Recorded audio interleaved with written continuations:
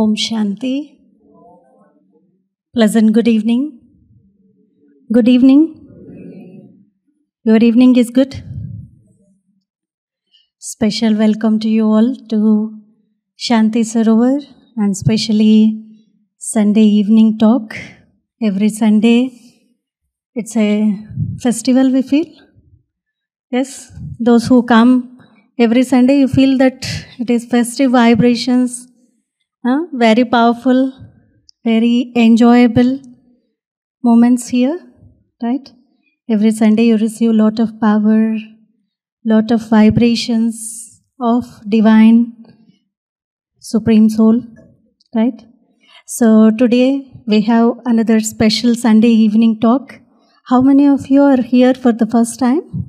Anyone? No? Yeah, only one. Acha. Okay, special welcome to you all. So, Shanti Sarovar is a spiritual retreat place where we char- recharge ourselves with positivity and meditation. Brahma Kumaris is socio-spiritual organization. We are spreaded in 110 countries and services in 140 countries and it's a divine university we feel where we learn the art and teachings of how we can become an angel a deity while we are performing everything.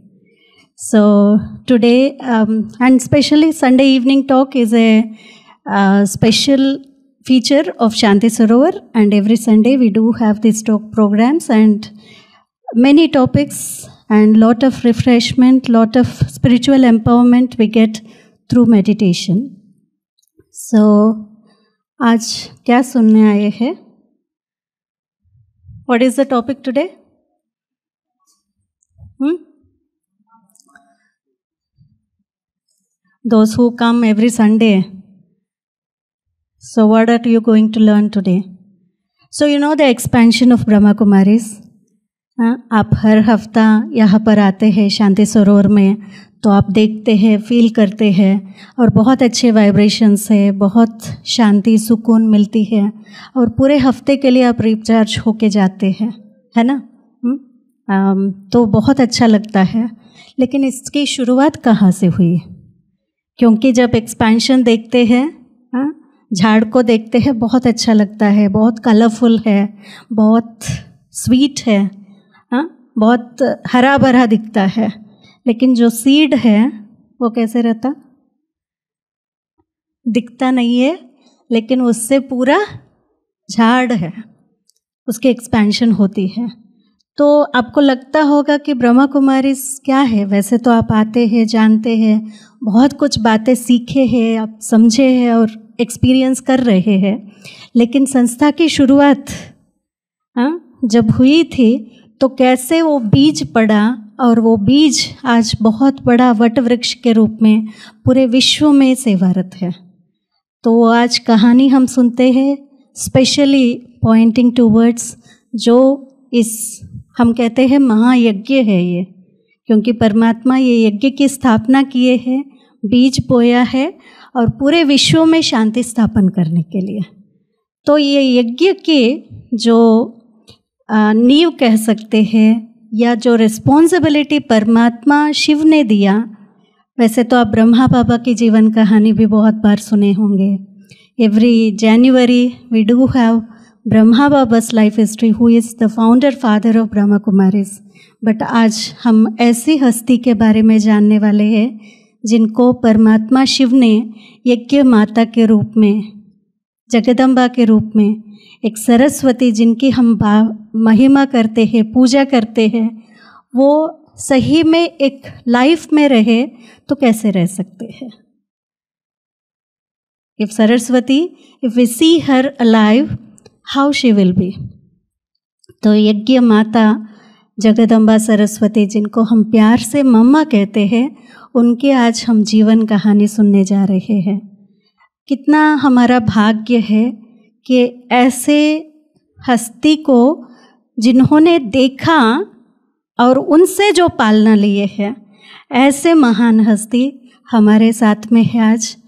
I request and welcome परम आदरणीय Brahma Kumar Raju Bhai ji on to the stage जो mount Abu से पधारे हैं। बहुत special personality है। बहुत sweet personality है। आज हम सभी का सौभाग्य है। भाई साहब यहाँ पर पधारे हैं। बजते रहे, तालियाँ।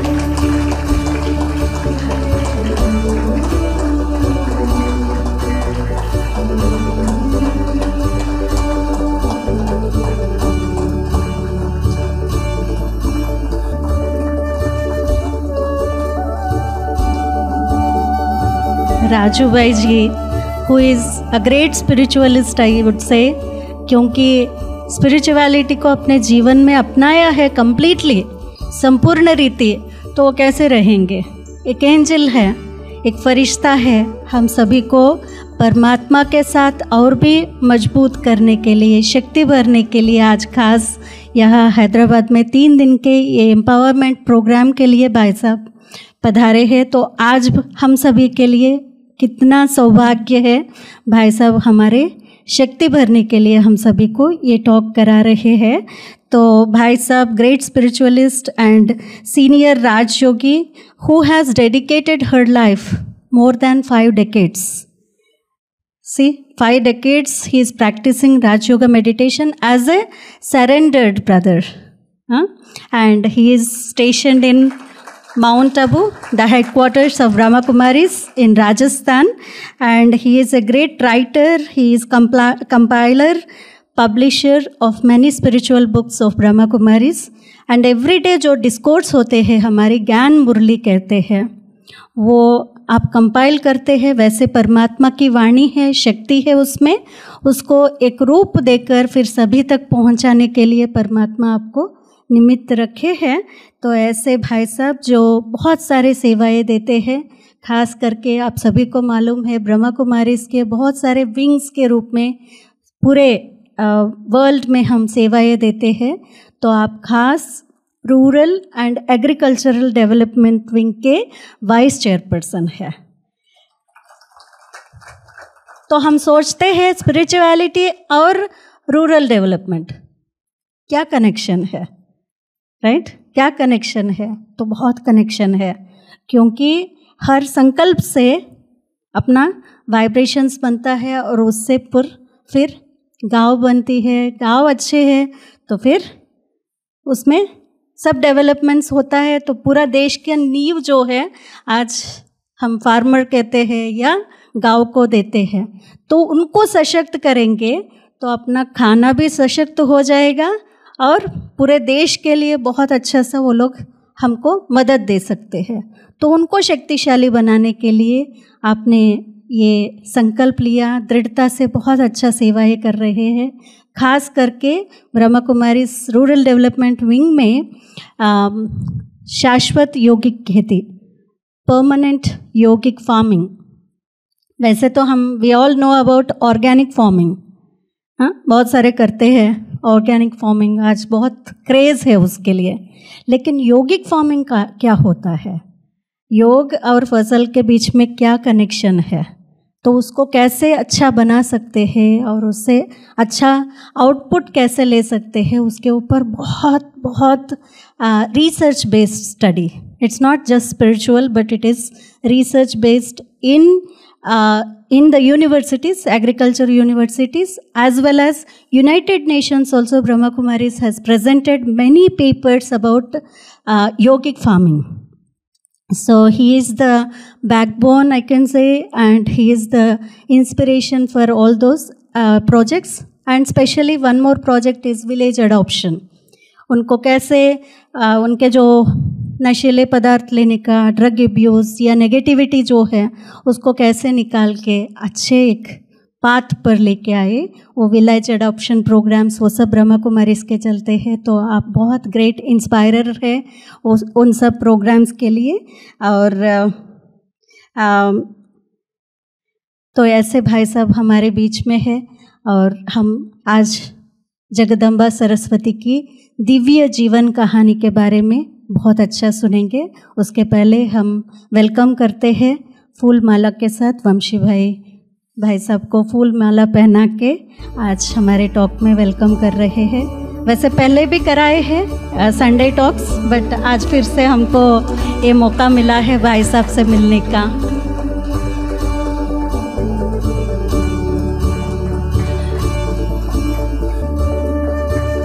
बहुत मधुर, सरल स्वभाव है आपका।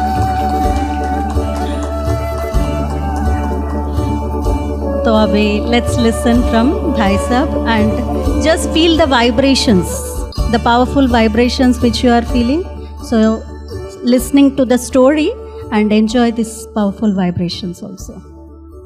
Over to you, Bhai Sahab. Om Shanti Brahma Kumari Ishwari Vishwavidyalaya कई बार ये नाम सुन करके भाइयों के अंदर प्रश्न उठ जाता है। ये तो कुमारियों की संस्था है, बहनों की संस्था है, हम लोग कैसे जाएँ? लेकिन इस संस्था को ये नाम क्यों मिला, कैसे मिला?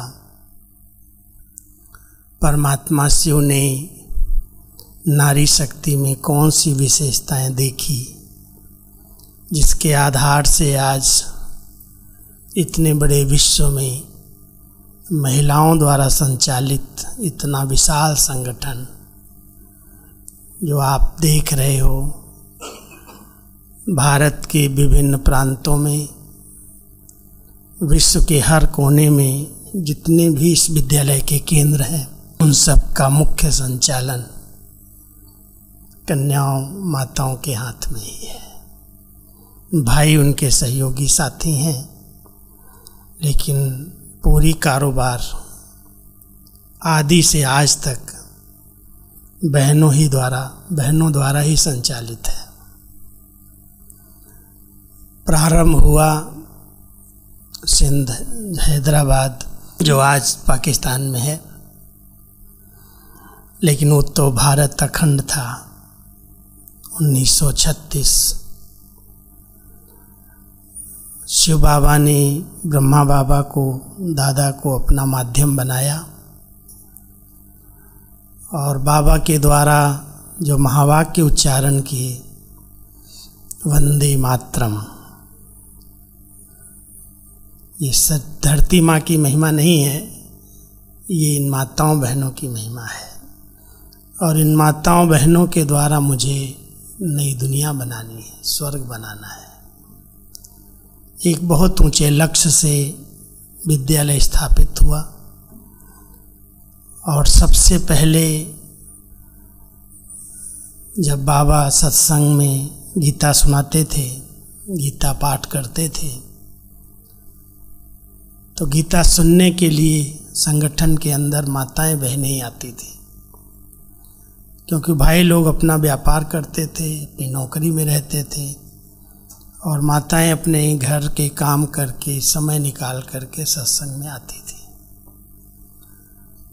जब शिव बाबा इनके तन में आए, ब्रह्मा बाबा के तो उनके माध्यम से गीता भले सामने होती थी, लेकिन बाबा डायरेक्ट बोलते थे मुख से। और उसके आधार से सत्संग में आने वाली बहनें, उनको बड़े अच्छे अनुभव होने लगे। और उन्होंने संकल्प लिया कि हमें नई दुनिया बनाने में अपना योगदान देना है। दो कुमारियाँ जो एक ही स्कूल में पढ़ती थीं, ग्यारहवीं क्लास में, पहले पहले बाबा के सन्मुख आई और जब बाबा के सन्मुख आई तो एक को बाबा की जगह पर श्री कृष्ण के दर्शन हुए। बाबा का शरीर गुम हुआ और उनके स्थान पर श्री कृष्ण का दर्शन हुआ। और दूसरे को लगा कि यही हमारे सच्चे पिता हैं। निर्णय लिया कि हमें इस सत्संग में रोज आना है।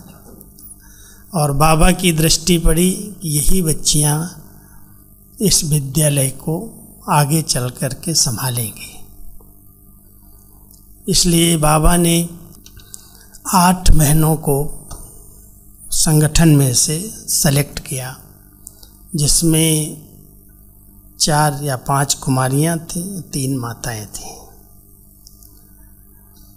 उन कुमारियों में नंबर वन जिनका अपना लौकिक बचपन का स्कूल का नाम था राधे।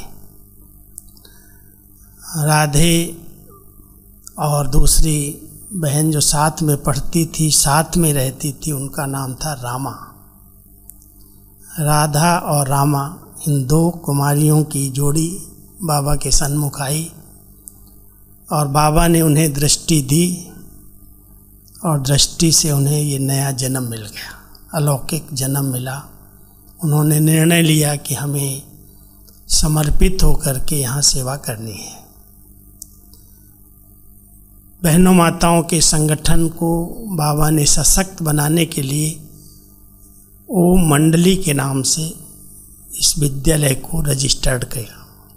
ओम मंडली, क्योंकि हमारे संगठन में सबसे पहला जो मंत्र है, ओम। जब बाबा ओम बोलते थे तो सारा संगठन ही ट्रांस में चला जाता था। उनकी दृष्टि और उनके ओम के उच्चारण में सारी सभा डांस करने लगती, सत्युग के अंदर चली जाती। तो प्रचार होने लगा कि ओम मंडली में तो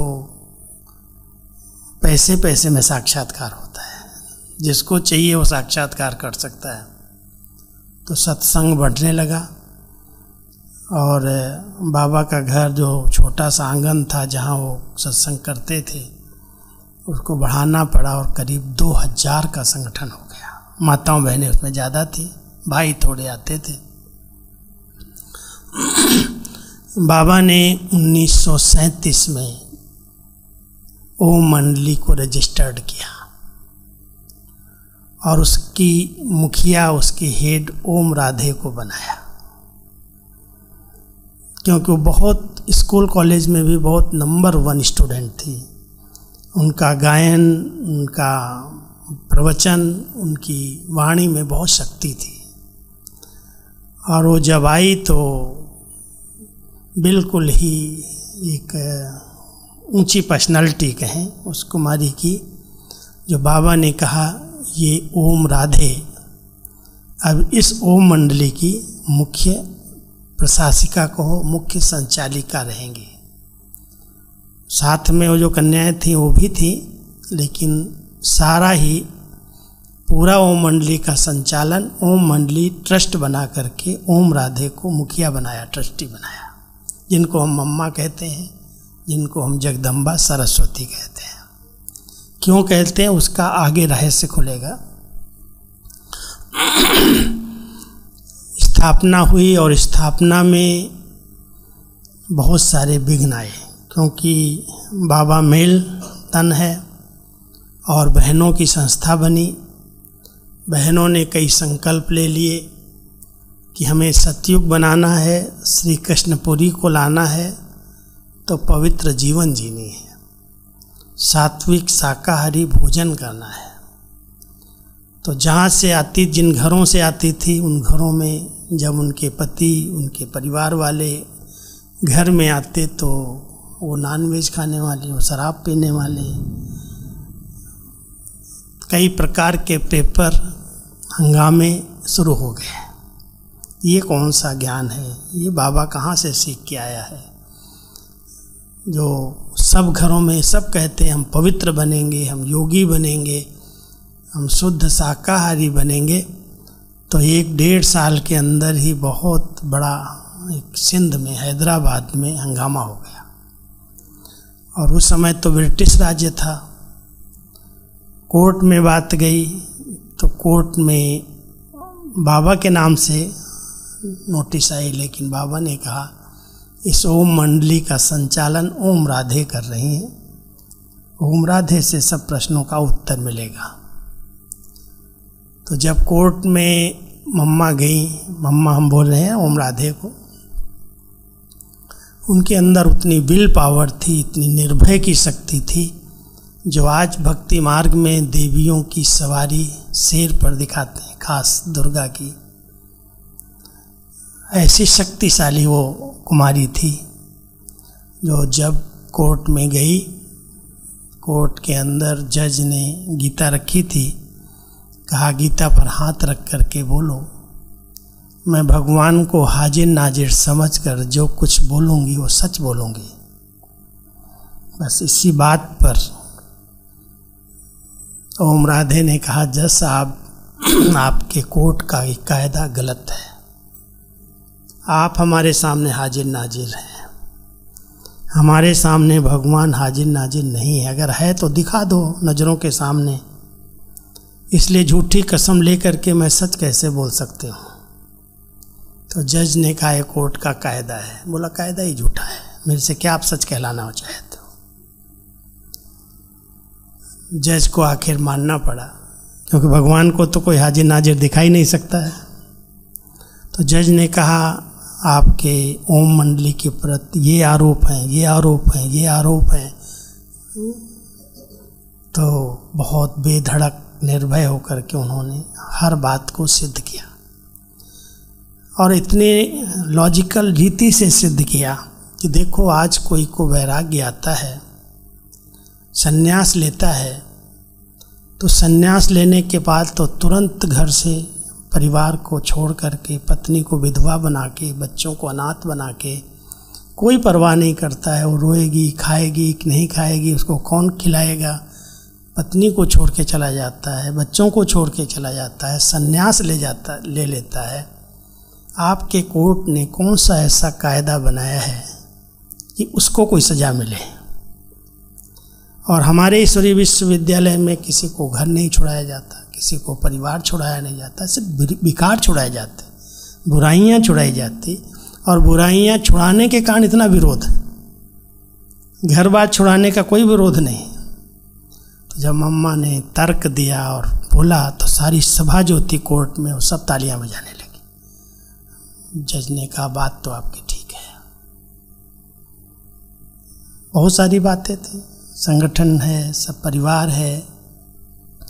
और सबसे बड़ी बात ये थी, बाबा ने जिन घरों में अपनी बच्चियों को दिया था, शादी किया था, बाबा की भी तीन बच्चियाँ थीं, बेटियाँ थीं। तो बाबा ने जिनके घरों में किया था, वो बड़े अच्छे रायल घराने वाले लोग थे, बहुत पैसे वाले लोग थे। उनके पति लोग बिगड़ गए, उनके समाज में सारा विरोध हो गया। ये कौन सा ज्ञान दादा ने देना शुरू कर बहुत हंगामे हुए, लेकिन सबका सामना करने के लिए ये कुमारी निमित्त बनी और उसने सब का विरोध बाबा के ऊपर आने नहीं दिया।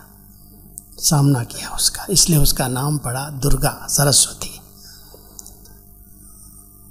उसके पश्चात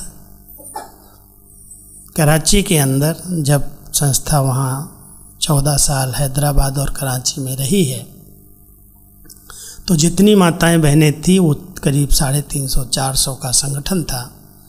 उन सब की पालना, उनकी सारी संभाल बाबा अलग बंगलों में रहते थे, लेकिन मातेश्वरी जी करते थे, माँ के रूप में।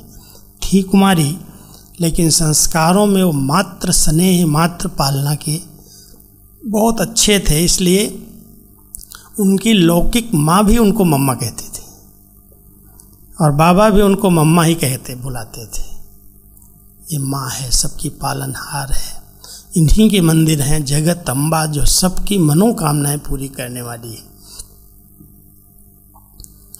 तो इस प्रकार से सिंध हैदराबाद में चौदह साल रहने के बाद जो भी छोटी छोटी कुमारियाँ ट्रांस में जाती, कुछ देख के आती, जितना हमारा ये ज्ञान है, जो यहाँ आपको सुनाया जा रहा है बाबा के मुख से तो जो बातें निकली महावाक्य निकले, वो तो ज्ञान था ही। लेकिन बाबा के समझाने में एक अंतर ये आता था कि बाबा शास्त्र पढ़े हुए थे। बाबा की लौकिक जीवन के कई अनुभव थे। लोग ये नहीं समझ सकते थे बाबा बोल रहा है या शिव बाबा बोल रहा है। लोगों को कॉन्ट्रास्ट करना बहुत मुश्किल हो जाता। भगवान निराकार है, वो सत्य है, वो कभी कोई बात ऐसी कह ही नहीं सकता है। लेकिन ये साकार ब्रह्मा बाबा के तन के द्वारा पाठ चल रहा है तो दो आत्माओं के महावाक्य मिक्स हो जाते थे। कभी बाबा बोल जाते, अपने अनुभव सुना देते, भक्ति काल के गुरुओं के साथ के, और कभी उनके तन में शिव बाबा के बोल जाते। तो ज्ञान स्पष्ट कैसे हो? उसके लिए छोटे छोटे बच्चे जो सत्संग में आए, जिनका बोर्डिंग स्कूल खोला गया था, उसमें कुमारियाँ जो थी, सात साल, आठ साल, नौ साल, जो कोई पढ़ी नहीं, दुनिया का कोई ज्ञान नहीं, वो ट्रांस में जाती और सारा ज्ञान ऊपर देख करके बाबा से समझ के आती और यहाँ वर्णन करती। और जो बताती तो बाबा को तो नहीं बता सकती थी, बाबा अलग रहते थे, लेकिन मम्मा उनसे पूछती थी बैठ कर के क्या देखा? क्या सुना, क्या हो रहा है? तो वो सब ये बातें सुनाती, ये जो इस विद्यालय की पढ़ाई का कोर्स है सात दिन का, उसमें जितने लेसन दिए जाते हैं, सारा ज्ञान कराची में इन छोटी छोटी बच्चियों ने, तीन लोग क्या हैं? साकार लोग, आकारी लोग, निराकारी लोग, आत्माएँ कहाँ रहती हैं? कैसे इस नाटक में पार्ट बजाने आती हैं? ये सृष्टि एक रंगमंच है इस रंगमंच में सूर्य चाँद इसकी बत्तियाँ हैं। सृष्टि केवल एक ही है मानव सृष्टि यहाँ ही चलता है। खेल ये नाटक की रीति से चलता है। ये जितने ज्ञान की बातें हैं, पुनर्जन्म की बातें हैं, सतयुग और त्रेता में जन्म कैसे होंगे? क्योंकि देवताओं को भी बच्चे हैं। अभी किसी को कहा जाता है, आप पवित्र योगी बनो, ब्रह्मचर्य का पालन करो तो सोचता है कि दुनिया कैसे चलेगी। बच्चे नहीं होंगे तो परिवार कैसे चलेगा? परिवार तो देवताओं को भी थे, उनको भी बच्चे थे, लेकिन जो सिस्टम है उसके अंदर अंतर था। वर्तमान समय एक भोग बल है, विकार है बॉडी कॉन्शियस है, लेकिन सत्युग त्रेता के अंदर योग बल था, पवित्रता का बल था। देवताएँ संकल्प से सृष्टि की रचना कर लेते हैं। उनको चाहिए बच्चे की ज़रूरत है तो आ जाएगा योग से, उनके संकल्प से। तो वो सृष्टि की उत्पत्ति जो हुई, सतयुग कैसे आएगा श्री कृष्ण का जन्म कैसे होगा, उनकी वंशावली कैसे आएगी, ये सारे ही जो बहुत गहरे रहस्य थे, वो छोटी छोटी बच्चियाँ ऊपर जाती, देखती और बाबा उनको, शिव बाबा उनको बताते, यहाँ वर्णन करती और जब बाबा तक, ब्रह्मा बाबा तक बात जाती तो बाबा कहते, बच्चों को कहो, एक नाटक करके दिखाएँ, स्टेज पर बताएँ। श्री लक्ष्मी श्री नारायण स्वयंवर कैसे होगा? वो गद्दी पर कैसे बैठेंगे? पूरी राज्य कारोबार कैसे चलेगी? सतयुग में जन्म कितने होंगे? फिर त्रेता में देवताएँ कितने जन्म लेंगे? उनके बच्चे कितने होंगे? ये पूरा ही एक स्पष्ट ज्ञान जो इस विद्यालय में दिया जा रहा है, वो परमात्मा जी जो सृष्टि के रचयिता हैं, सृष्टि के क्रिएटर हैं, उन्होंने स्पष्ट करने के लिए छोटी बच्चियों को ही माध्यम बनाया। और वो ट्रांस के द्वारा जाती, देखती और बताती बाबा के द्वारा फिर उस पर टप्पा लगता है। ये राइट है, ये ठीक है, ये बहुत अच्छी बात है। तो शिव बाबा तो थे ब्रह्मा बाबा में, लेकिन शिव बाबा ने इस ज्ञान को देने का तरीका जो अपनाया, वो कुमारियों को चुना। अब उसमें मम्मा हेड थी, वो भी कुमारी थी, लेकिन वो पूरी बहनों की हेड रही। तो चौदह साल में जितने हमारे चित्र बने, जितना ज्ञान स्पष्ट हुआ वो सब चित्र लेकर के 1950 में माउंट आबू आए। और जब माउंट आबू को चुना, राजस्थान को चुन लिया तो वहाँ पर कुछ परीक्षाएँ आई। कुछ लोग तो ठंडी को नहीं सहन कर पाए, वहाँ के वेदर को नहीं सहन कर पाए, इसलिए अपने अपने घरों में चले गए। कई कारण भी बने, लेकिन मम्मा उसमें बहुत शेरनी और बहुत निश्चय बुद्धि थी, सबसे आगे थी। बाबा तो पुरुष तन होने के कारण ज़्यादा बहनों के बीच में नहीं आते। लेकिन मम्मा फीमेल और सारी माताओं की संस्था, संगठन था। 380 लोग आए थे कराची से यहाँ, आबू को जब चुना था। तो उन सब बहनों को संभालने के लिए, उन सब बहनों की प्रॉब्लम, उनकी बातें, उनसे सारी सेवाएँ कराना और उनको सब जगह गाइड करना, भेजना भारत के अंदर सेवाएँ 52 में शुरू हुई। तो वो बाबा तो डायरेक्शन दे देते थे, लेकिन प्रैक्टिकल कौन करेगा? तो मुख्य प्रशासिका के रूप में मम्मा निमित्त थी। और कहीं पर भी कोई विरोध हुआ, क्योंकि नया ज्ञान, नई धारणाएँ, नई सब बातें, और कहीं ने आज तक कहा ही नहीं कि कलयुग में घरग्रस्त में रहो, लेकिन पवित्र रहो, शुद्ध रहो तो जहाँ जाते थे, स्थापना तो हो जाती थी, लेकिन उसके बाद विरोध होता था, झगड़े होते थे। एक बार यहाँ पर एक यूपी में शहर है, जहाँ पहले पहले शुरू किया, उस शहर का नाम है हापुड़, दिल्ली के पास है। तो हापुड़ शहर में आर्य समाजी लोग बहुत भड़क गए एकदम, संस्था का ज्ञान सुन करके, और बहुत विरोध करने लगे। इतना विरोध किया कि इनको किसी भी तरह से हापुड़ में रहने नहीं देना। अब हमारे जो विद्यालय के भाई लोग जाएँ तो उनको तो बहुत बुरा हाल करके, उनके साथ झगड़ा करके, मारपीट करके, उनको तो भगा दें वो। और बहनें तो कमरे में, मकान में रहें तो उनका बिजली का कनेक्शन, पानी का कनेक्शन, कहीं जा नहीं सकते, सब काट दिया। खूब हंगामा कि इनको रहने नहीं देना यहाँ। तो बाबा ने मम्मा को कहा, मम्मा, तुम तो सह नहीं सकती है। इनका सामना करने हैं, करने के लिए जाओगे जी बाबा। कभी भी मम्मा डरी नहीं, कोई भी बात हुई, कितनी भी बातें आई, और बाबा का कहना और मम्मा का हाँ जी करना। उन्होंने कभी नहीं कहा, बाबा, ये कैसे हो सकता है? ये बड़ी बात है, ऐसे सामना कैसे करें? नहीं। एकदम निर्भय, निश्चिंत, बेफिक्र, और बाबा का कहना और मम्मा का करना। इसलिए बाबा और मम्मा जैसे स्थापना के न्यू बन गए और इनको बाबा ने नाम दिया ये ब्रह्मा की पहली बेटी सरस्वती। ब्रह्मा द्वारा स्थापना हो रही नई दुनिया की, करने वाला शिव बाबा है, लेकिन जिस तन के द्वारा कर रहा है, उसका नाम ब्रह्मा है, और ब्रह्मा की जो सबसे पहली बच्ची है, जो इस कार्य को आगे बढ़ाने के निमित्त बनी, वो ब्रह्मा की बेटी सरस्वती है। जिसको शास्त्रों में दिखाया कि ब्रह्मा की बेटी सरस्वती है, ब्रह्मा सरस्वती पर फिदा हो गया वो फिदा वो लोग तो गलत भाव में देखते हैं, लेकिन ब्रह्मा ने इस बेटी के द्वारा सब कार्य कराए, आगे किया। और वो इतनी निर्माण चेत, इतनी सरल स्वभावी, इतनी मधुर वाणी जो सबको एक करके चलाना, क्योंकि माताओं बहनों के संगठन में कभी कोई झगड़ा ना हो, कोई कोई बात ना हो जाए, उनको एक साथ लेकर के चलना। वैसे भी कहते हैं, दो बहनें अगर घर में हो जाती हैं कोई अगर नई बहू घर में आ जाती है, सासू बहू के झगड़े शुरू हो जाते हैं, कई प्रॉब्लम आती हैं। लेकिन मम्मा को सबकी विशेषताओं का पता होता था और एक एक को पालना देना एक एक से बात करना, कोई भी बात है, बाबा तक नहीं जाए, मैं बैठी हूँ। तो इसलिए मुख्य प्रशासिका रही और जब हापुड़ में हंगामा हुआ और बाबा ने कहा, बच्ची, जाओगी? हाँ बाबा। अब जब वो गई वहाँ तो उन्हों को बड़ी खुशी हुई, विरोधियों को। अरे अभी इनकी माँ मातेश्वरी आ रही इनकी हेड ही संस्था के आ रही उसको भगाएँगे तो अपने आप सब भाग जाएँगे। फिर उनको क्या पता वो नहीं है उसको कौन भगाएगा? और बहनें भी डरे पता नहीं मम्मा के साथ क्या व्यवहार करेंगे गालियाँ देते थे बहुत उल्टा बोलते थे। मम्मा गई और बहनों ने सोचा कि हंगामा करने वाले तो पता नहीं क्या करेंगे। तो मम्मा को ऊपर वाले मक, मकान लकड़ी का ही था ऊपर एक और बिल्डिंग थी, दो मंजिल का था। तो दूसरी मंजिल में एक सफ़ेद चादर बिठा के योग में बिठा दिया। मम्मा योग में बैठ गई और ये हंगामा करने वाले आ गए ट्रक लेकर के अभी चलो इनकी माँ के सहित भरे सामान और ले जाएँ।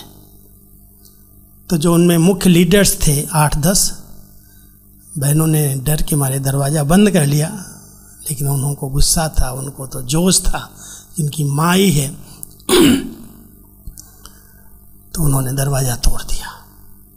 और दरवाज़ा तोड़ करके इनकी मम्मा कहाँ है? मातेश्वरी कहाँ है? मातेश्वरी कहाँ है? ऐसे हंगामा करते हुए ऊपर पहुँच गए कमरे में। और मातेश्वरी जी योग में ऐसे बैठी थी। ऐसी दृष्टि दी और कहा, आओ बच्चे, आओ बैठो। जो हंगामा करते हुए गए थे, सब ऐसे चुपचाप बैठ गए। और जब बैठ गए, दस मिनट तक मम्मा सिर्फ़ दृष्टि देती कुछ नहीं बोली। न वो बोले, न वो बोली। अब जो नीचे खड़े हंगामा कर रहे थे, उन्होंने कहा, अरे, ब्रह्मा कुमारियों ने उसको भी जादू लगा दिया। कुछ तो कर दिया। अब बोल ही नहीं रहे वो, कहाँ चले गए वो? गुम हो गए। तो यहाँ और नीचे हंगामा करने लगे। तो जब बहुत ज़ोर हंगामा हुआ तो वो चुपचाप वहाँ से उतरे, ऊपर से। कुछ नहीं बोले मम्मा को। और उतर के नीचे कहते हैं, ये ब्रह्मा कुमारियाँ कैसी भी मैं नहीं जानता। इनकी माँ तो साक्षात दुर्गा है। उसने हमको बोलने नहीं दिया। हमारी वाणी को रोक दिया। हमारी वाणी पर कंट्रोल कर लिया। एक शब्द भी मैं उनके आगे नहीं बोल सकता। चलो यहाँ से भागो भागो। बस मम्मा की वो दृष्टि थी, वो प्योरिटी की शक्ति थी। उनका योग का बल था, जो एक मिनट में हंगामा दो रहा पूरा हो गया। सबके सब चले गए। उसके बाद कोई ने विरोध नहीं किया। बहुत सारी बातें होती थी, क्योंकि कईयों के घरों में अगर ये झगड़े शुरू हो जाए, पवित्रता के कारण मूल तो तो लोग तो दादा के ऊपर ही गुस्सा करते थे। बहनें कहाँ से ज्ञान ले आई? बहनें होकर के इतना पवित्र रहेंगे, योगी रहेंगे तो हंगामा तो करते थे।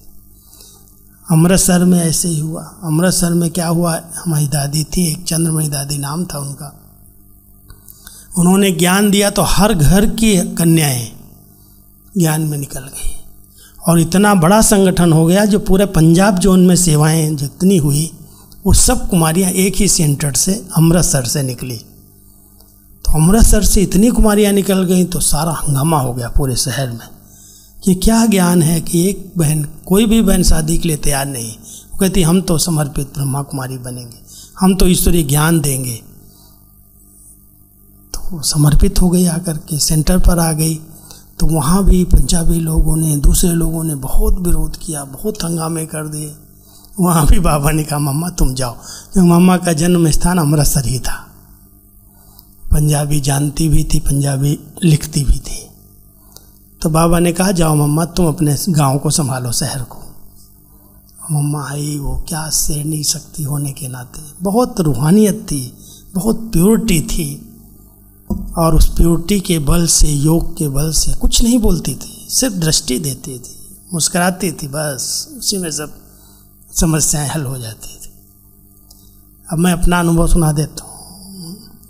जब मैं चार साल का था, गोद का बच्चा, मुझे याद नहीं, अभी वो दृश्य याद नहीं, लेकिन हमारे पिताजी बहुत पक्के ज्ञान में थे। पहले से उनको ज्ञान मिल गया था, पंचायत सेक्रेटरी थे वहाँ नहर कैनाल चलती थी पानी की तो पानी के लिए गाँव में बहुत सारी बातें होती थी तो उनके ऊपर जवाबदारियाँ थी। तो जो नहर कैनाल के कोठी के ओटसियट साहब थे, वो ज्ञान में थे। और वो ज्ञान में कहाँ से फिरोजाबाद से ज्ञान लेके गए थे, यूपी में। फिरोजाबाद से उन्होंने ज्ञान लिया था, हमारे गाँव में ज्ञान दिया, पिताजी को ज्ञान का निश्चय हुआ, और मम्मा उस समय कानपुर में गई थी। तो ये लोग निमंत्रण देने गए कि, मम्मा, हमारे गाँव में चलो। अब गाँव में न लेटरिन बाथरूम, न बिजली, न कोई सुविधाएँ, कोई भी प्रकार का प्रबंध नहीं। फिर भी चलो, मम्मा, सेवा करने के लिए तो तैयारी रहती थी। तो पैंतीस दादियाँ जो हमारे इस विद्यालय की मुखिया थी, सब हेड्स थी, वो मम्मा के साथ ही थी कानपुर में। उन्नाव में बहुत बड़ा सेंटर बनाया था, हमारा जो डिस्ट्रिक्ट हेडक्वार्टर। और वहाँ से करीब पच्चीस, तीस किलोमीटर दूर पर मेरा गाँव। और उस गाँव में कोई सुविधाएँ नहीं, लेकिन मम्मा तैयार हो गई, चलो, पैंतीस दादियों को लेकर के। और पिताजी ने वो गाँव में प्रबंध कराए, टेम्परेरी लेटरिन बाथरूम बनवाई, टीन लगा करके, पतरा लगा करके, पानी का प्रबंध किया, सब कुछ किया। और जब मम्मा आई तो बैलगाड़ियाँ सजा के मम्मा को पूरे गाँव में घुमाया। और इतना सेवाएँ कराई, पूरे गाँव के जितने आजू बाजू के गाँव थे सबको इकट्ठा किया कि आ जाओ मम्मा, मातेश्वरी, साक्षात सरस्वती माँ। माउंट आबू से चल के हमारे गाँव में आ रही है। जिसको दर्शन करने कर लो। मम्मा के दर्शन से लोग प्रसन्न हो जाते, उनकी इच्छाएँ पूरी हो जाती थी। अब मेरे लौकिक चाचा जी कुमार थे और वो बहुत सेंसिटिव बना बहुत बहनों से बात नहीं करते थे, अलग रहते थे। लेकिन जब मम्मा के सामने गए और मम्मा ने दृष्टि दी तो खड़े खड़े उनकी गोद में गिर गए। पिताजी नहीं, पिताजी दूर खड़े रहे, जिन्होंने निमंत्रण दिया था। लेकिन चाचा जी पवित्र थे एकदम, जैसे चुंबक चुंबक को खींचता है। ऐसे ही चुंबक ने दृष्टि दी और वो लुढ़क गए उनके गोद में। वो सुनाते थे, अभी शरीर छोड़ा थोड़े दिन पहले, माउंट आबू में ही थे। कि मम्मा की वो पर्सनैलिटी वो प्योरिटी थी जो देख करके ही लोग एकदम उनके विचार शुद्ध हो जाते थे, उनकी भावनाएँ बदल जाती थी। बहुत प्यार से मम्मा ऐसे सहला करके, आओ बच्चे, गोद में जैसे माँ लेती ना बच्चे को ऐसे। तो जब गाँव में सेवा की, मम्मा ने तीन दिन गाँव में रही और पिताजी ने 500 लोगों को इकट्ठा कर दिया। माइक नहीं, कोई साधन नहीं और मम्मा की आवाज़ बहुत बुलंद थी, तेज़ थी। उसमें मम्मा ने क्लास कराई, योग कराया। उससे बहुत सारे गाँव वाले निकले और हमारे घर में पाठशाला खोल दी। जब मम्मा वहाँ से गई तो पिताजी को कहा, ये पाठशाला अपने घर में खोलो, ये जितने लोग आते हैं, इनको ज्ञान दो। तो हमारा बचपन उसी में भी था और मम्मा ने जब शरीर छोड़ा है सिक्सटी फाइव में, बहुत छोटी उम्र थी, चालीस बयालीस साल की मम्मा की उम्र थी, शरीर छूटा। फिर उसमें भी पिताजी वहीं थे, मधुबन में, माउंट आबू में। तो बाबा कैसे माँ को निमित्त बना करके हर विशेषता उनके अंदर भरी और मम्मा तो बाबा का कहना, एक एक शब्द को फॉलो करना। कोई पूछ ले अगर कि मम्मा, आज की वाणी में, बाबा के महावाक्यों में ये जो शब्द हैं, इसका भाव क्या है? किस भाव से बाबा कह रहे हैं? मम्मा कहती है, सत्य वचन में भाव क्या होता है? अंधश्रद्धा नहीं है, लेकिन उसमें भाव अपना क्यों मिक्स कर रहे हो? जो बाबा कहे वो सत्य वचन है। तो इसलिए मम्मा की बहुत विशेषताएँ रही एकदम हर बात में, और एकदम बाबा की हर कोई भी प्रकार की प्रॉब्लम मम्मा तक गई तो मम्मा ने कभी बाबा तक जाने नहीं दिया बात को, संभाल लिया। दो तीन उनके महावाक्य रहे हैं। एक हमेशा कहती थी, जैसे राजस्थान में एक शब्द कहते हैं, हुकुम, जो हुकुम। तो मम्मा का एक शब्द था, हुक्मी हुकुम चला रहा है। जो जिसका हुक्म है उसी बाबा है। उसके हुक्म के अनुसार हम सब चल रहे हैं। इसलिए कोई भी काम अपने संकल्प से करना ही नहीं। बाबा का जो हुक्म, जो आज्ञा, उसको हमें फॉलो करना है। तो हुक्म ही हुक्म चला रहा है। दूसरा उनका एक शब्द था, हर घड़ी अंतिम घड़ी है। श्वास का कोई भरोसा नहीं है, इसलिए हमेशा ऐसे तैयार रहो जो हर घड़ी अंतिम घड़ी है, इसलिए हर संकल्प श्रेष्ठ हो, शुभ हो। कोई भी ऐसा न हो जो हमारा समय, हमारी शक्तियाँ इधर उधर जाएँ और अंत आ जाए तो अंत मति सोगति। जैसा अंतिम संकल्प होगा, वैसी ही हमारी गति होगी। तो मम्मा का बहुत अटेंशन रहता था और सबका ध्यान खिंचवाती थी और सबसे बड़ी बात कहती थी कि कभी भी कुछ भी हो जाए, आपकी बुद्धि डिस्टर्ब नहीं होनी चाहिए। बुद्धि सदा सालिम रहे, बुद्धि सदा ठीक रहे, बाकी शरीर पर कुछ भी आएगा, वो ठीक हो जाएगा। शरीर की प्रॉब्लम की परवाह नहीं करो, लेकिन आत्मा जिसकी दो शक्तियाँ हैं, मन, बुद्धि, कभी भी इसके अंदर तनाव पैदा ना हो, ये डिस्टर्ब ना हो जाए। इसके लिए कभी भी कोई जो बुराई छोड़ रहा है, हर एक चाहता है कोई कमी, कमज़ोरी, संस्कार है, वो निकल जाए। वो निकालने की कोशिश कर रहा है, वो छोड़ना चाहता है और देखने वाला अगर उस बात को नोट करता है, इसके अंदर ये कमी, इसके अंदर ये कमी है माना उसकी छोड़ी हुई चीज़ को, उसके किचरे को हम अपने पास इकट्ठा कर रहे हैं। वो छोड़ना चाहता, उसके लिए मेहनत कर रहा है, पुरुषार्थ कर रहा है और देखने वाला सोचता है, ये व्यक्ति ऐसा है, ये व्यक्ति ऐसा ये ऐसे कर रहा है, ये ऐसे कर रहा है। इसलिए कभी भी कोई की बातों को, जो व्यर्थ है नेगेटिव है, तुम्हें नहीं देखना है। अंदर धारण नहीं करना है। तो मम्मा हमेशा ही एक ध्यान रखती थी कभी भी कोई कंप्लेन लिखे जाए, कोई भी बात किसी की सुनाए, बैठो यहाँ, बैठो। जिसकी बात कही उसको बुला लाओ। जिससे कोई की सुनी सुनाई बातें नहीं, उस पर कोई निर्णय नहीं लेना, फिर सामने बुलवाना कि अच्छा बताओ, क्या हुआ था, कैसे हुआ था, क्यों ये बातें उठ रही हैं? तो दोनों को उसी समय मिला करके एक स्नेह का फिर से संबंध बना देना, सॉरी करा लेना, जिससे कभी भी कोई बात विस्तार को न पाए, कोई मूड खराब न करे, कोई का समय, कोई की शक्ति नष्ट न जाए। संकल्प चलना शुरू हो जाते ना, उसने मेरे लिए ऐसे कहा, उसने मुझे ऐसे कहा। तो मम्मा की एक निजी धारणा रही। बाबा कहते थे, मम्मा, जाओ बच्चों की कचहरी करो। कचहरी। और कचहरी में अगर कोई अपनी भूल, सारे दिन में कोई बात हुई है कभी कुछ बोल दिया, कभी कुछ व्यर्थ सोच लिया, कुछ गलत हो गया। इंसान है, कुछ तो हो सकता है नीचे ऊपर। तो कहती थी, किस, जो सुना सकता है अपनी कमी, सीधा ही आओ सुनाओ। इसको कचहरी कहते थे। अगर वो नहीं सुना पा रहा है, नहीं सुनाना, सुनाता, छिपाता है तो जिसने देखी है, जिसने इसके बारे में नोट किया, वो सुनाओ। उसके सामने ही सुनाओ। जिससे वातावरण कोई नेगेटिव न बने, जो बात है, वहीं हल हो जाए। और उसका समाधान, तुरंत समाधान देना। डिले नहीं करना। ऐसे नहीं, आज कुछ बात हुई और हम कहें हाँ चार दिन के बाद सुन लेंगे, फिर ठीक देख लेंगे। इसके कारण सब संगठन में एक होकर के रहे। छोटी छोटी बातें अगर हुई, क्योंकि सारी कारोबार कर्मणा की थी, और बाबा इन लोगों को, बहनों को कहता था, तुम सदा समझो, हम चतुर्भुज हैं। क्योंकि भाई लोग थे नहीं इतने। भाई तो पाँच सात ही थे समर्पित। अब सारी कारोबार माताओं बहनों की करनी है और एक भी मजदूर नहीं घर में हम। अब चार सौ का भोजन बनेगा मान लो। अब भोजन बनेगा, सब्ज़ी कटेगी, अनाज साफ़ होगा, फिर बर्तन इतने होंगे, उनको धोना है, मांझना है, फिर मोटर है, गाड़ियाँ हैं, वो कभी मैकेनिक की ज़रूरत है, कभी कोई की ज़रूरत है, मैकेनिक का काम करना है। कभी बिजली जली गई, कोई फ्यूज उड़ गया, उसका काम करना है। कभी पानी की टंकी फुल हो गई, कभी पानी नहीं आया, उसके लिए मेहनत करनी है, प्लम्बर का काम करना है तो कौन करेगा? जब नौकरों से नहीं कराना है, कोई भाइयों से नहीं कराना है तुम्ही को करना है तो बाबा कहता था, तुम बहने चतुर्भुज हो।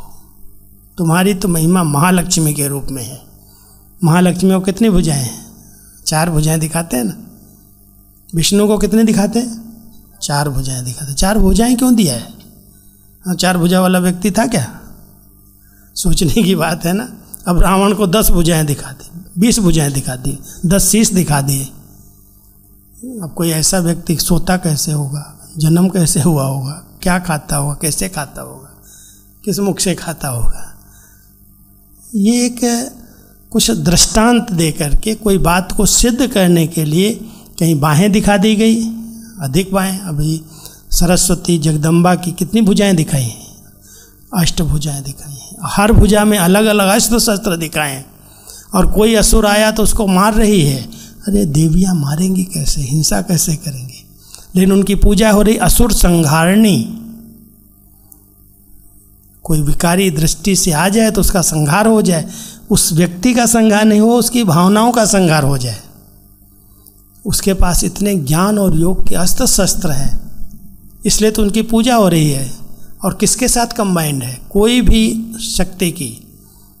नौ दुर्गा की पूजा करते हैं ना, नौ अष्टमी को। दो बार होती है। चैत्र में होती है और एक अक्टूबर में होती है, दशहरा के पहले। दोनों बार देवियों की पूजा शक्ति के रूप में हो रही नौ दुर्गा की। और नौ दुर्गा में हर कुमारी दिखाई गई, लेकिन उसका नाम दिया शिव शक्ति। कंबाइंड अलग नहीं है।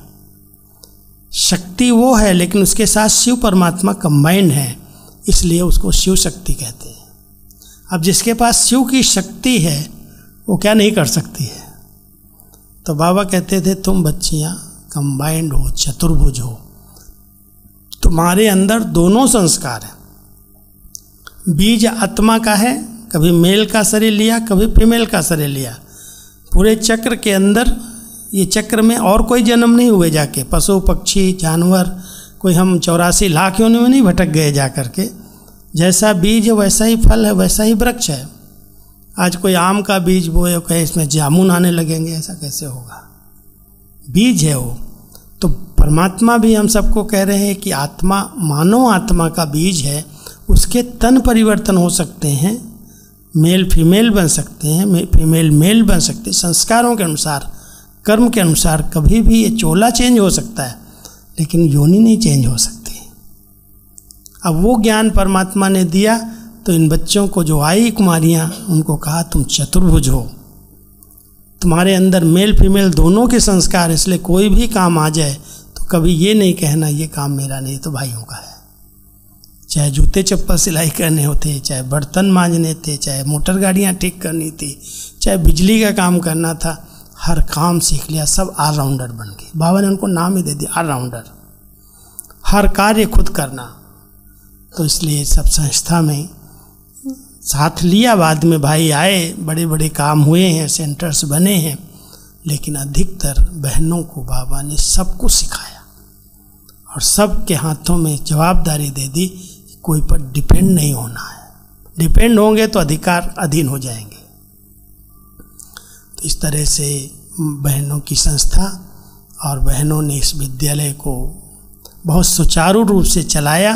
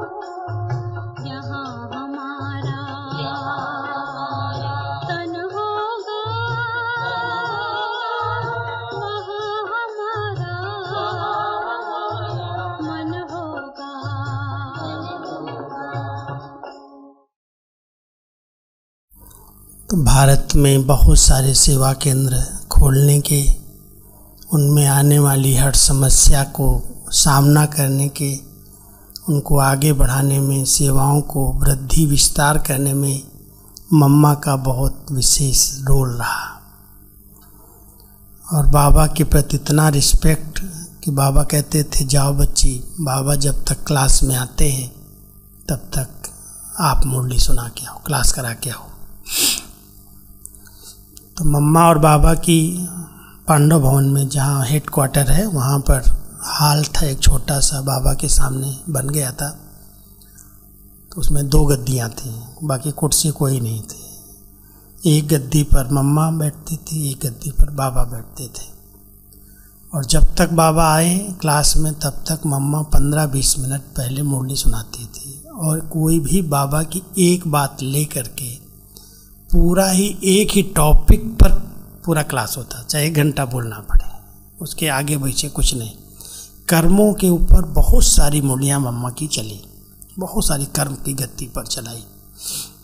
लेकिन अगर मम्मा की मुरली चल रही है और बाबा की खड़ाओं की आवाज़ भी सुन ले, बाबा खड़ाऊँ पहन के आते हैं तो खट खट होता है। अपने कमरे से हाल तक बाबा आ रहे हैं और खड़ाओं की आवाज़ आ गई तो मम्मा चुप।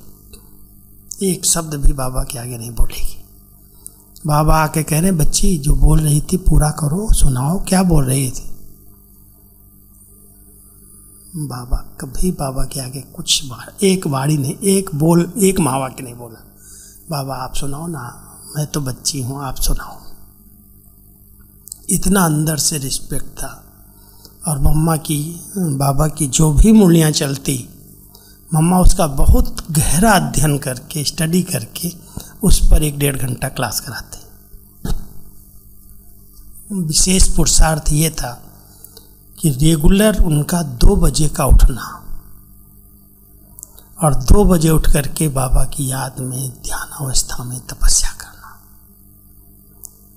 कोई भी बाह्य मुक्ता नहीं, कोई भी व्यर्थ बातें नहीं, न सुनना, न सुनाना, न बोलना कोई बोलता था तब भी महिमा भी अगर मम्मा की कोई किया, किसकी महिमा करती तो प्रभु प्रसाद, भगवान की देन है। ये मेरी कोई विशेषता नहीं है जिसको तुम कह रहे हो तो उसकी दी हुई है, उसको याद करो। कभी भी अपने में किसी को फंसने नहीं दिया। एकदम सबका ध्यान बाबा की तरफ़ से, बाबा की तरफ़। वो दे रहा है, उसने विशेषता सब में भरी है। मेरे अंदर कहाँ विशेषता है? इतनी निमित्त निर्माण चित बन करके इस विश्वविद्यालय की एक नींव डाल दी और इतना कुशल प्रशासन करके इसको ऊँची चोटी तक ले आई।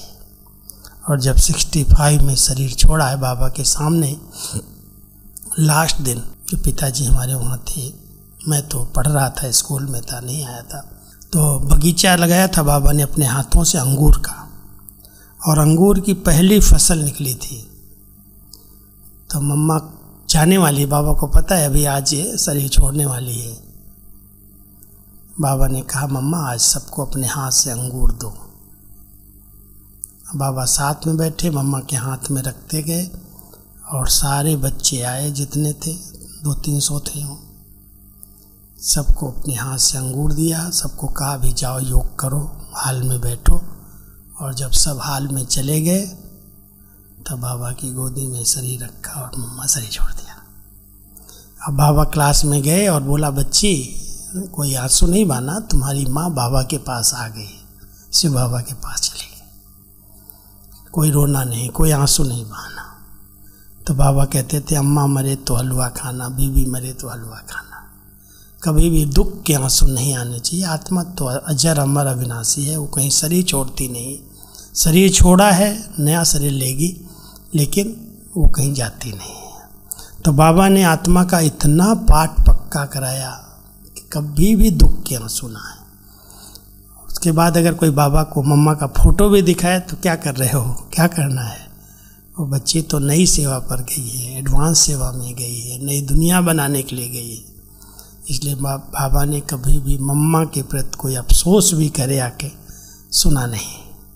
उसको भी शक्ति दिया, सकाश दिया। तो ऐसे मम्मा ने बहुत सारी सेवाएँ करके, बाबा के यज्ञ को स्थिर एकाग्र करके, आगे बढ़ा करके 65 24 जून को अव्यक्त हो गए। और जब वो अव्यक्त हुई तो दीदी मनमोहिनी थी, जिनका ये जुलाई मास अव्यक्ति मास है। दीदी ने 28 जुलाई 83 ये भौतिक देह का त्याग, भौतिक देह त्यागी। दीदी मनमोहिनी जिनको हम कह रहे हैं, वो सिंध प्रांत की बहुत बड़े घराने की थी। मुखिया परिवार की थी। उनकी शादी बचपन में ही हो गई थी। लेकिन जब ज्ञान मिला तो एक धक से अपनी माँ और बहन के साथ समर्पित हो गई वो समर्पित हुई, उनके साथ उनके जो चचेरे भाई की युगल थी, वो उनकी दो बेटियाँ। एक ही परिवार से छह बहनें निकली और संस्था में आ गई। इसके कारण उनके परिवार में बहुत हंगामे हुए, लेकिन फिर माँ ही है, इसलिए माँ की संभाल के लिए उन्होंने सहयोग भी दिया, मदद भी किया, सब प्रकार से सहयोग दिया। और उसमें दीदी मनमोहिनी जो थी, बहुत पावरफुल थी। लौकिक पढ़ाई नहीं किया था, लेकिन उनकी जो धारणाएँ थी, उनका जो बाबा के प्रति समर्पण भाव था, जो प्यार था, उसके आधार से वो नंबर वन बनी।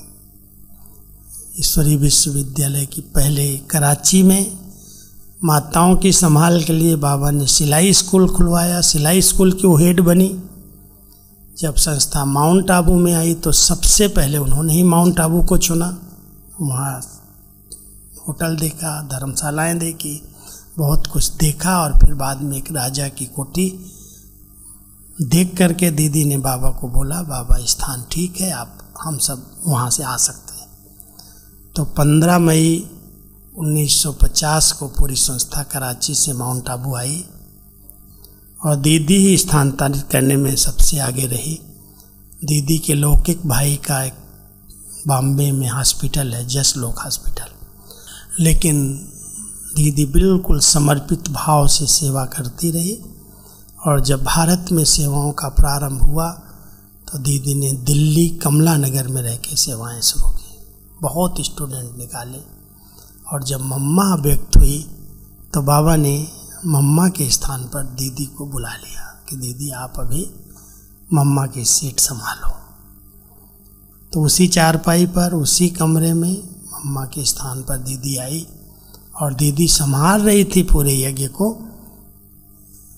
लेकिन 18 जनवरी 69 को मम्मा के चार साल बाद बाबा व्यक्त हुए।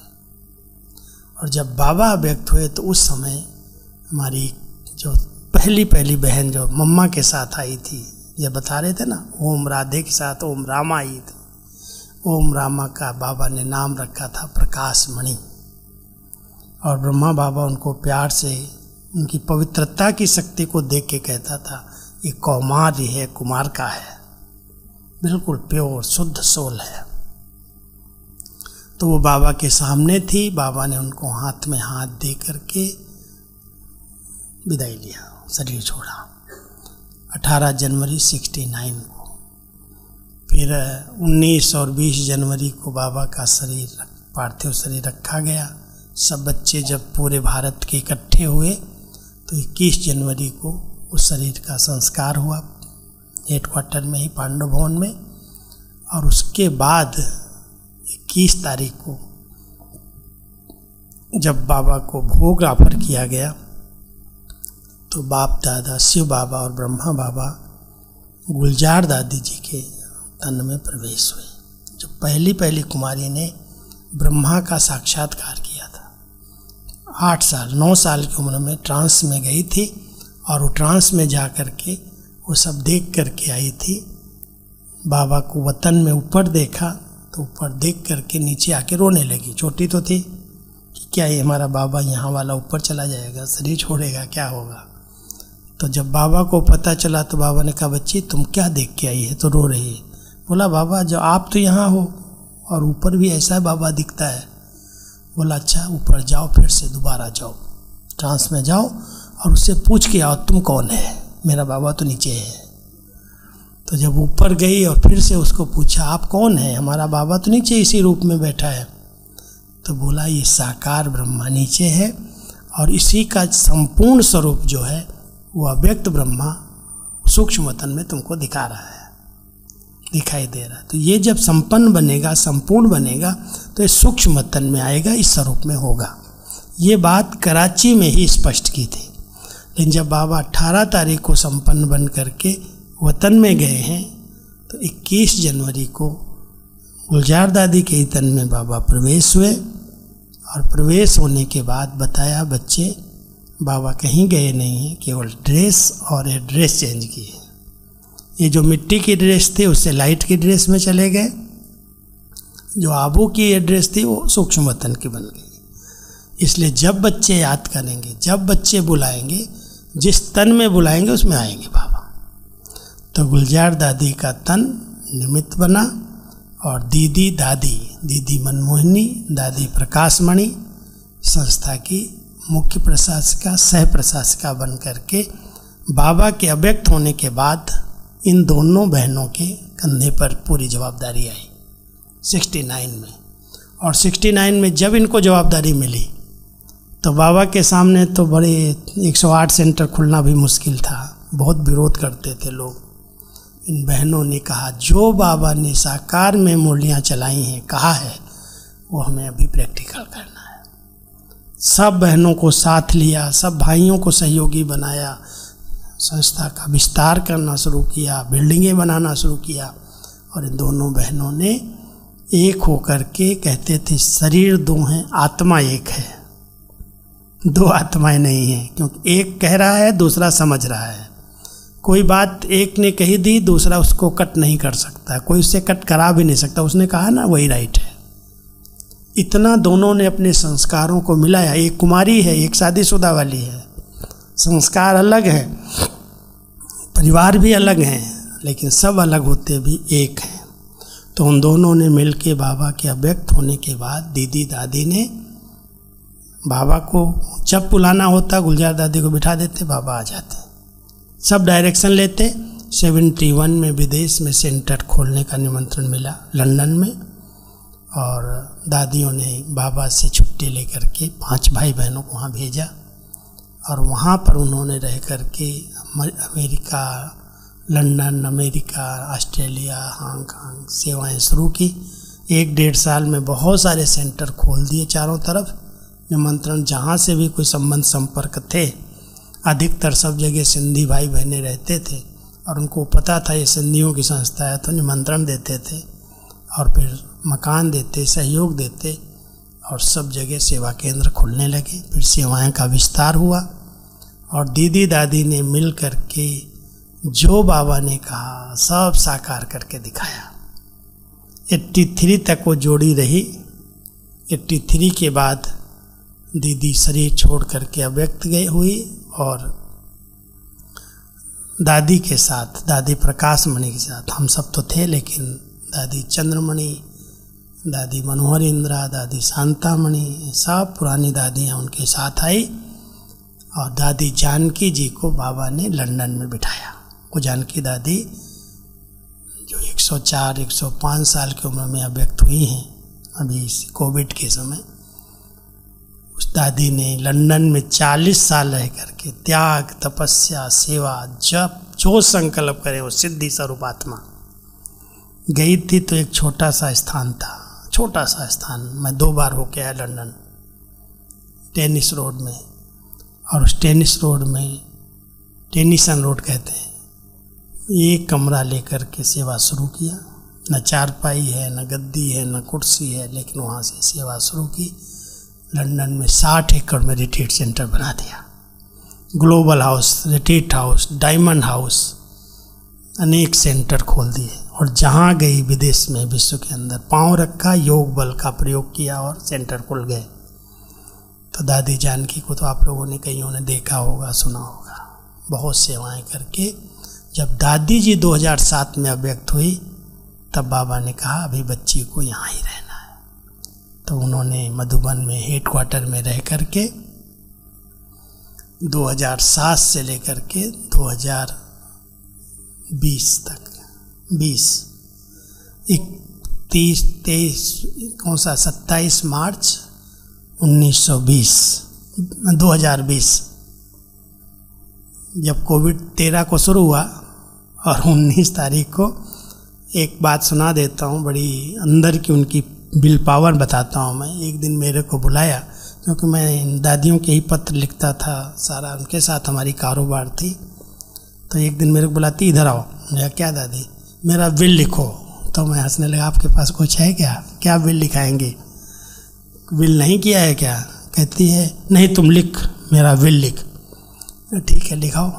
तो कहती है, जब मैं शरीर छोड़ूं तो मेरे शरीर पर, इस अर्थी पर एक भी फूल नहीं चढ़ना चाहिए। तो मैं हंसने लगा, ये क्या बोल रही हो आप?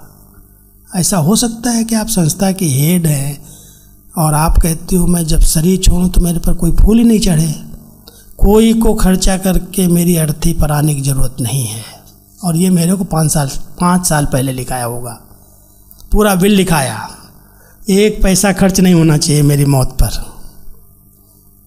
और बड़े पक्की थी, बहुत संकल्प की, सिद्धि थी उस आत्मा की, और सचमुच जिस दिन शरीर छोड़ा, कोविड था।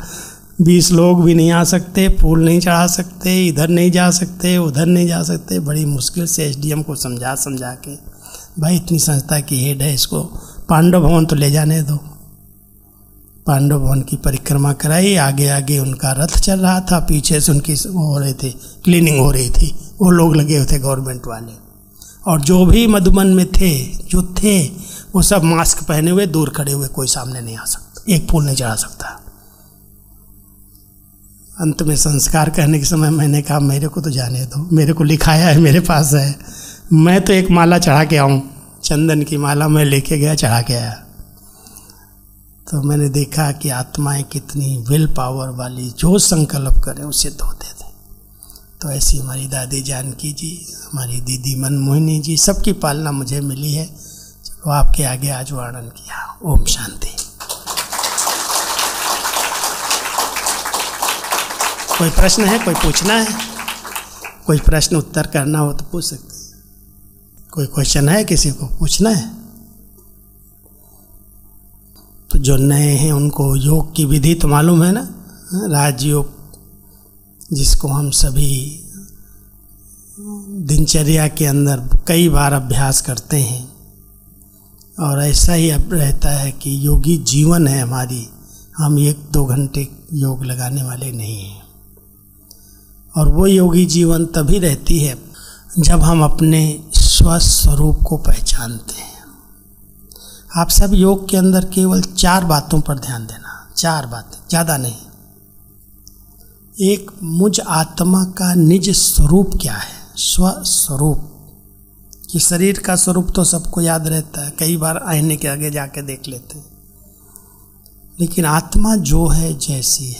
अपने स्वरूप का दर्शन करो सिर्फ़ योग में। मैं एक लाइट हूँ, एक बहुत चैतन्य शक्ति हूँ, एक बिंदु स्वरूप आत्मा हूँ। इस भ्रकुटी आसन पर मेरा निवास है। पहली बात। जब भी योग अभ्यास करो तो पहले ये स्मृति कि मैं शरीर से अलग एक चैतन्य शक्ति हूँ। मैं एक ज्योति स्वरूप आत्मा हूँ। फिर दूसरा है, मेरा स्वधर्म क्या है? जो आज हम अनेक धर्मों में बट गए हो तो दैहिक धर्म है, जाति हैं, धर्म हैं, अनेक प्रकार की भाषाएँ हैं, कुल हैं। लेकिन मेरा स्वधर्म शांति है, प्रेम है, आनंद है, पवित्रता है। स्वरूप की स्मृति, स्वधर्म की स्मृति फिर स्वदेश की स्मृति, कहाँ से मैं आया हूँ? अपने बुद्धि को वहाँ ले जाओ। वो घर कहाँ है? जहाँ से आत्मा इस सृष्टि पर आई है। स्वदेश की स्मृति। और स्वदेश की स्मृति के बाद है स्वपिता की स्मृति। आत्मा का पिता कौन है? कहाँ है? जिससे हमें सब शक्तियाँ मिल सकती हैं। जो स्रोत है, जो एक पावर हाउस है, जो सर्वशक्तिवान है आत्मा इस सृष्टि रंगमंच पर पार्ट बजाते बजाते शरीर लिया, शरीर छोड़ा, संबंधों में आई, कार्य व्यवहार में आई, उसकी शक्ति छीड़ हो गई, उसकी बैटरी डिस्चार्ज हुई है। अब उस चार्ज करने का स्रोत कौन है, कहाँ है, उसको यथार्थ पहचान करके उसके साथ संबंध जोड़ना, उसके साथ कनेक्ट हो जाना, उसकी सारी शक्तियाँ स्वयं में धारण करना। यही योग है। तो इस योग में अभी हम सब बैठेंगे। पाँच सात मिनट अभ्यास करो। सभी अपने को एक चमकता हुआ दिव्य सितारा, इस भ्रकुटी आसन पर विराजमान एक लाइट एक चैतन्य शक्ति,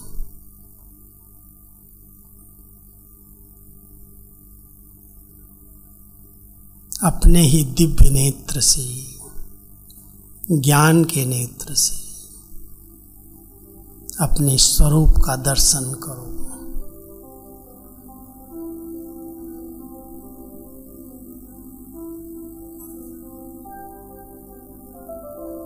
अपने स्वधर्म में स्थित हो जाओ।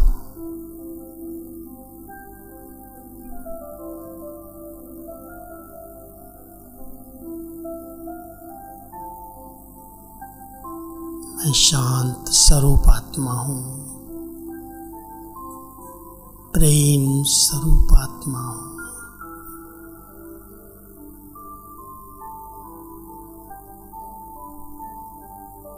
पवित्र स्वरूप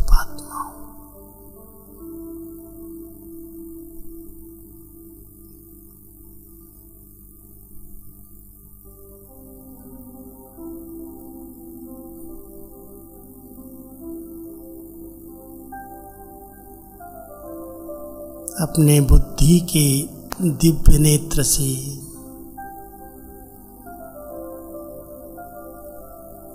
अपने स्वदेश का अनुभव करो। इस शांति का देश। मूल वतन।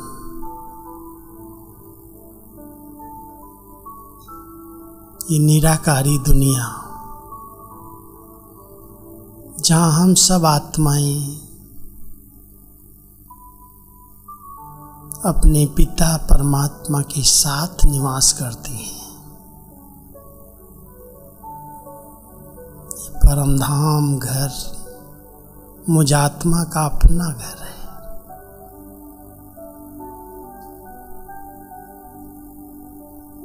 शांति के सागर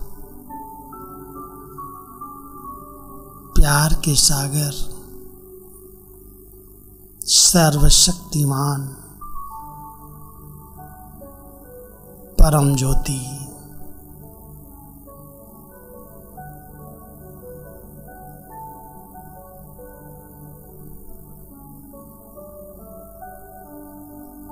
सदाशिव कल्याणकारी।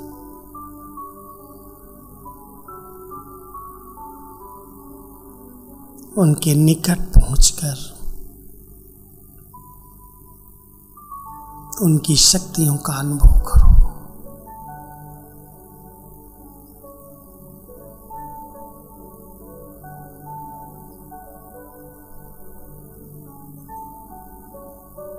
शांति की लहरें, प्रेम की लहरें, सुख की लहरें।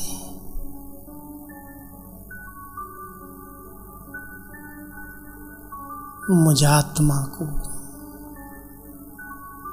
कितना आनंदित कर रही हैं।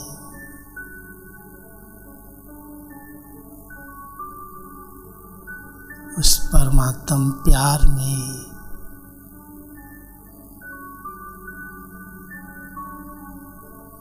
समा जाओ।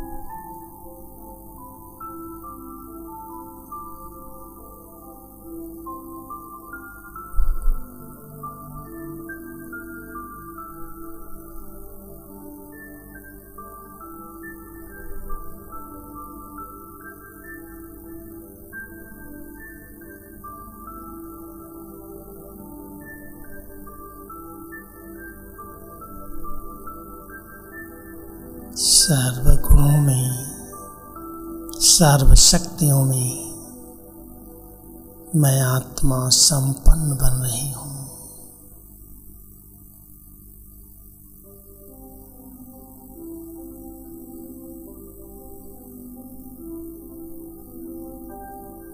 मैं भी उनके समान मास्टर शांति का सागर, मास्टर सुख का सागर। मास्टर प्रेम का सागर बनकर इस सृष्टि रंग मंच पर श्रेष्ठ पाठ बजाने के लिए इस तन का आधार लेकर अवतरित स्वयं को इस भ्रकुटी आसन पर महसूस करो। ये शरीर अलग है। मैं आत्मा चैतन्य शक्ति। एक चमकते हुए सितारे के रूप में, एक मणि के रूप में विराजमान हूँ। मन बुद्धि, संस्कार, ये मुझ आत्मा की निजी शक्तियाँ हैं। मैं इनकी मालिक हूँ, आत्मा हूँ।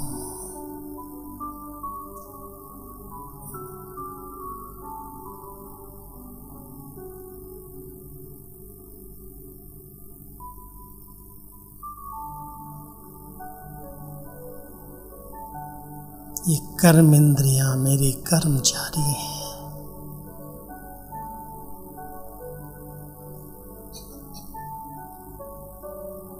मेरे सहयोगी साथी हैं।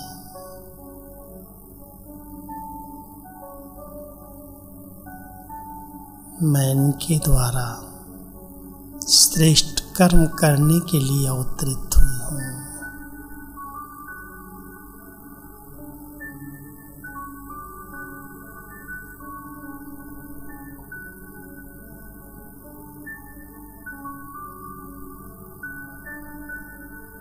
मैं एक श्रेष्ठ पाठधारी हूँ। शांति की शक्ति, दान करने वाली शांति दूत हूँ।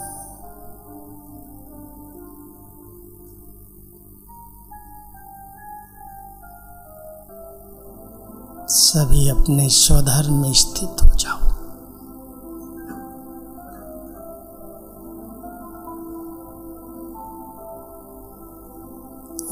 शांति। Om Shanti. Om Shanti. Om Shanti. I am sure this is very empowering story and we have heard from empowered personality isn't it तो आज तक आप आते हैं एक एक गेस्ट बन के। लेकिन आज ये कहानी सुन के आप सभी को लग रहा है, लग रहा है आपको, आप घर के सदस्य बने हैं, परिवार के सदस्य हैं आप सभी, या सिर्फ़ your guest of Sunday evening talk you are also there no so you have heard and understood and experienced how difficult phase the organization, brahma baba, mama, everyone went through, but how they came out हाँ? तो वो परमात्मा की दिव्य शक्ति और बहुत पवित्रता की शक्ति उनको बहुत सहज रीति से बाहर निकाला तो हम भी ऐसी प्रेरणा लेवे कि हम भी बहुत सशक्त बने, ताकि जो परिस्थितियाँ हमारे सामने आए तो हम भी परिस्थितियों से घबराना नहीं, डरना नहीं लेकिन अचल अडोल बन के आगे बढ़ना है अपने जीवन में भी। तो कितनी सुंदर कहानी हम भाई साहब के मुख से सुना। बहुत बहुत दिल से थैंक यू भाई साहब आपका। आपके है ही बहुत sweet voice sweet nature sweet personality और उसके साथ साथ आपके जो स्वीट एक्सपीरियंसेस है, वो भी बहुत सशक्त किया सभी को और हम आगे भी संडे इवनिंग टॉक में आपका सुनते रहेंगे और बहुत सशक्त होंगे। थैंक यू वेरी मच भाई साहब। सभी बैठे रहेंगे। भाई साहब यहाँ से प्रस्थान करेंगे, लेकिन आप सब बैठे रहेंगे। कुछ अनाउंसमेंट ज़रूरी अनाउंसमेंट्स है। तो सभी ज़रूर सुनेंगे। थैंक यू भाई साहब। तो सभी के लिए कुछ अनाउंसमेंट्स है। आज हमने सुना भाई साहब के द्वारा।